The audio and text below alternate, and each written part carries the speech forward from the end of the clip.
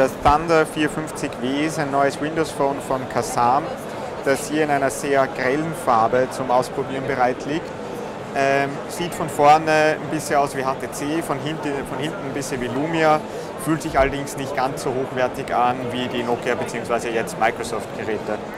Ähm, das Display hat eine Diagonale von 5 Zoll, 27p, ähm, schaut nicht übel aus, ähm, allerdings vielleicht ein bisschen dunkler. Die Kamera fotografiert mit 8 Megapixel, Frontkamera 2 Megapixel. Ähm, Windows Phone 8.1, es ist sehr stark davon auszugehen, dass auch ein Update auf Windows 10 nachfolgen wird.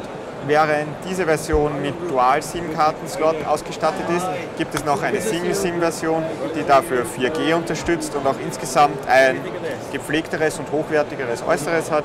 Sieht man an der Metallrückseite, Verarbeitung kommt gleich viel besser rüber und auch die Kamera ist anders positioniert, als es bei der Dual-SIM-Variante der Fall ist.